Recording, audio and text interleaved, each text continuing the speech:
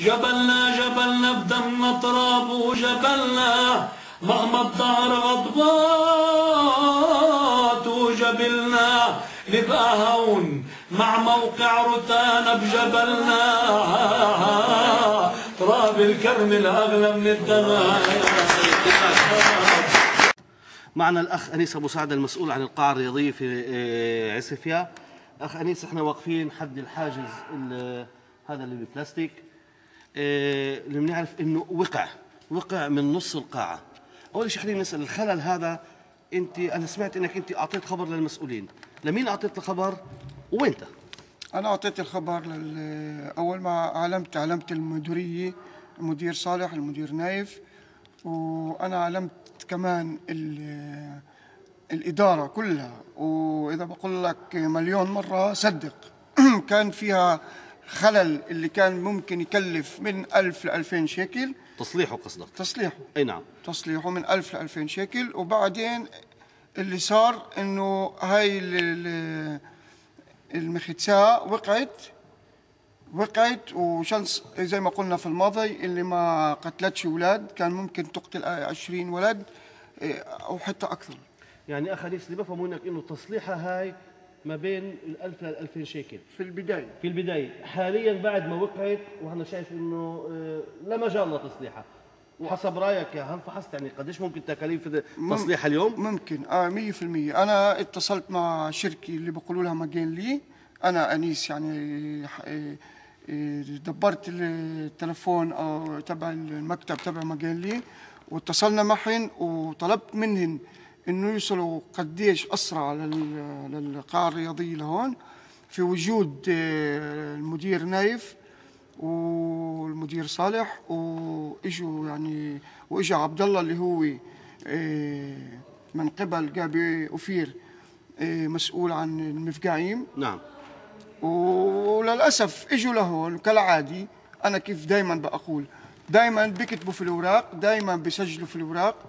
واللي شايفوا هاي المنطقة اللي هي أو القاعة الرياضية هاي اللي هي أهم شيء يعني ممكن يكون فلسفي أول شيء لأنه فيه عدد كبير من الناس من أولاد وهاي الأولاد بتجر أهالي.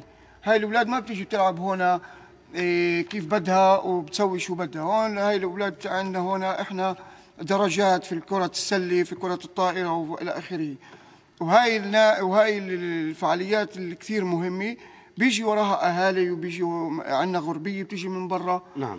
وللاسف الشديد لحد إسا ولا واحد من المسؤولين ومن اللي اتكل عليهن جابي أوفير مش مهم مين كان هو عبد الله صقير ولا أي إنسان ثاني معطي منتبه لهي المشكلة. قديش الشركة أعلمتك إنه تكاليفها اليوم بعد ما وقع هذا الحاجز؟ اليوم أعلنت الشركة مع شركة مجالين مهندسين اثنين اللي وصلوا لهون. نعم. وأعلنوا إنه هاي بتكلف اليوم إيه، 45 ألف شيكل. ألف شيكل ما حدش 45 يدفعه ألف شيكل. في البداية كان ال- ال- الخراب أقل من هيك بكثير بكثير أقل من هيك. ودائما توجهت للمسؤولين ولكل مسؤول.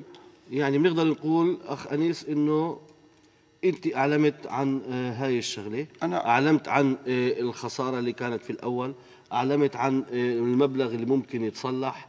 أعلنت عن المبلغ اللي بعد هذا. ولكن كل هاي الإعلانات وكل هاي التعليمات اللي أنت قدمتها للمسؤولين ما حدا سمع. ما حدا سمع وللأسف هذا إشي مؤسف لأن أنا اللي شايف كل اللي حواليها جابي أوفير إيه، أنا حسب رأيي ناس ناس اللي بس عم تضيع وقت ولا بهمها لا أولاد ولا أولاد ولا بهمها إيه، أي درجة قطرية أو أي شيء في هذا في هاي القاعة الرياضية.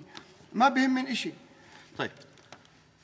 لزائري موقع روتان الكرمل ولكل اللي بيشوفونا من أهل بلدنا الكرام. زي ما أنتم شايفين حاجز. ما بقدر أقدر قديش وزنه ولكن الحمد لله اللي الله ستر وهذا الحاجز ما وقع وإجا على رأس بني آدم.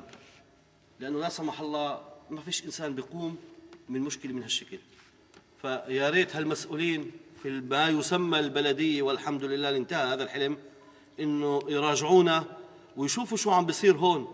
لا يمكن إنه هذا الحال يستمر في القاعه الرياضية اللي كل جمعة بيستعملوا هون القاعة ما يقارب 300 400 بني آدم عدا عن الزائرين الكرام. فمنوجه كلامنا ومنوجه ندائنا وطلبنا منوجه منطلب منطلب من المسؤولين في البلدية يتجاوبوا مع الأخ أنيس خلينا نحل هاي المشكلة لأنه لا يجوز قاعة رياضية بهذا الشكل وبهذا الحجم إنها تكون بهذا المستوى.